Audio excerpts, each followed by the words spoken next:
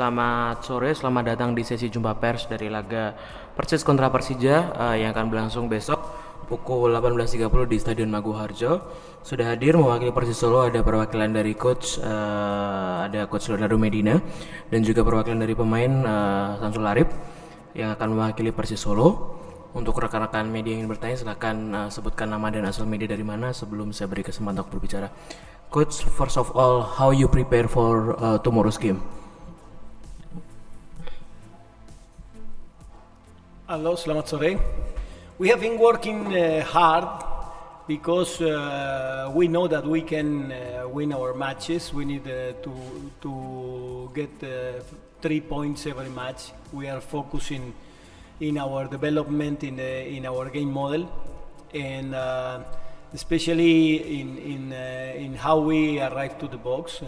we have been doing very well, and now we are uh, advancing in our structure. Uh, we are very focusing how we are going to be compact all the match and facing every every opponent with the same stamina and with the same intensity to win.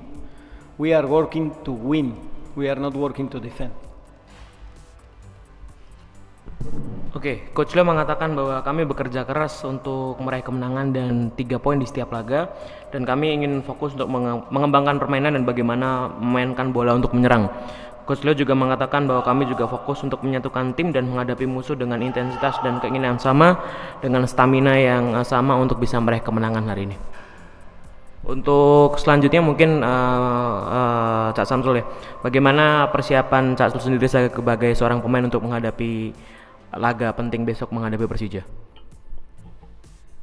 Ya kita menunggu pertandingan besar besok ya lawan Persija selalu seru karena kita tahu Persija punya tradisi yang bagus di sepak bola Indonesia.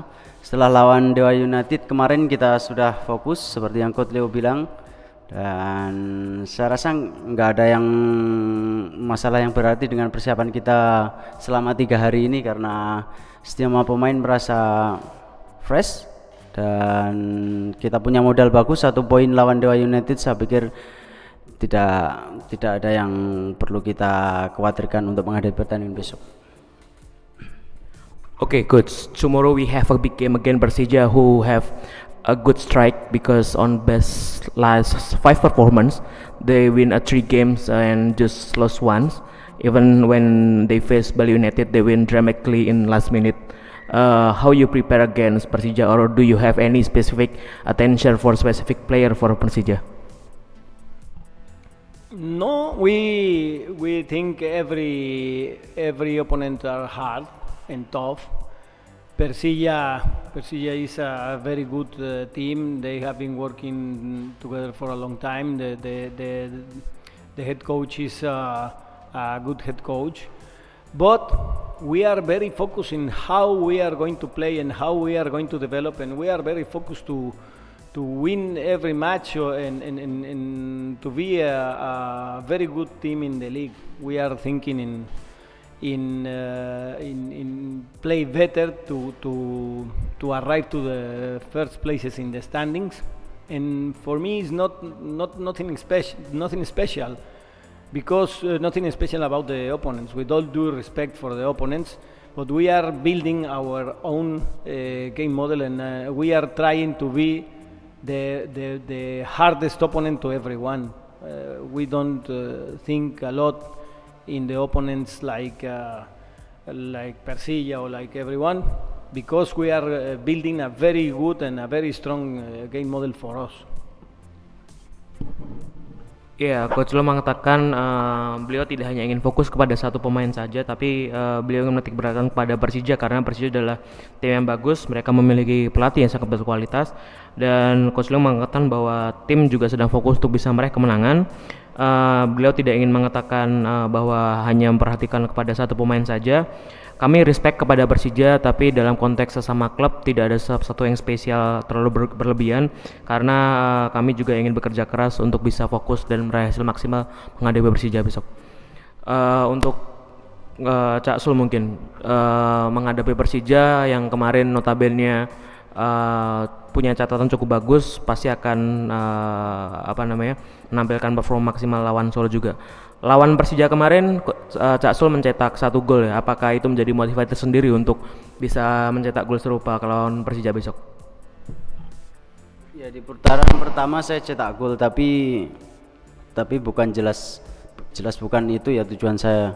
Tujuan saya adalah memenangkan pertandingan dan sebagai pemain Persis Solo kita harus untuk menjadi tim yang besar tim yang bisa bersaing kita harus menang lawan siapa pun kita nggak peduli lawan Persija lawan tim-tim apa pun kita harus menang karena kita tahu untuk memperbaiki peringkat di klasmen sementara Persis Solo harus menangkan pertandingan besok dan ke depan kita tidak boleh takut dengan lawan siapa pun.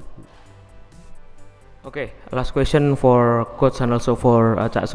Coach, tomorrow's game will be no attendance because uh, there are no uh, supporter in the stadium. Uh, how do you feel about that? And do you any has any special message for our supporter who maybe watch the game from uh, Solo or maybe from their home tomorrow?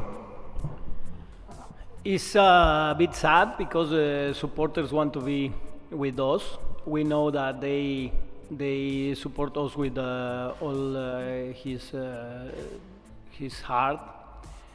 And I want to tell them that they must keep trusting, keep uh, confidence that we are very conscious, conscious that uh, Persis is a, a, a club with a lot of history and we are going to be responsible of that and we are going to put Persis Solo in the standings in the place that the deserves we fight and we train and we are doing everything hard every day and working uh, 100% every day because we know the responsibility that we have.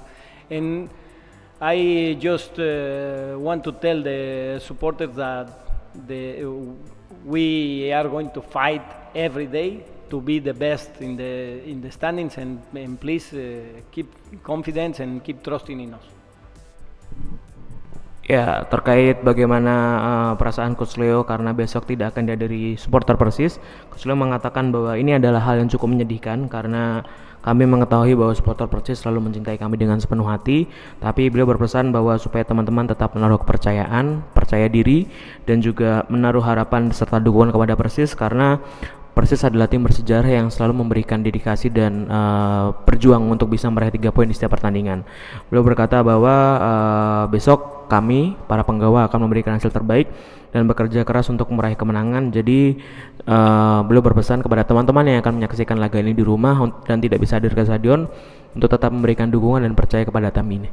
Untuk Cak Sul sendiri bagaimana mungkin uh, perasaan besok tidak ada supporter dan mungkin ada pesan untuk pada rekan-rekan supporter yang menyaksikan di rumah besok? Persis fans adalah bagian yang tak terpisahkan dari kita ya. Kita tahu bagaimana mereka mendukung kita. Di mana pun kita bermain mereka pasti datang dan saya pikir kita merasa kehilangan yang besar karena kita sebagai sebagai klub yang bermain di kandang tapi tidak bisa merasakan kehadiran mereka.